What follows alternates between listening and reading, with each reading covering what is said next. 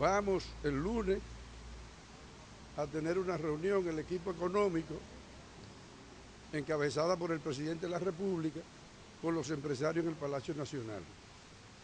Nosotros le vamos a explicar a los, le vamos a, a dar algunas explicaciones adicionales, porque parece que hay una confusión en esto.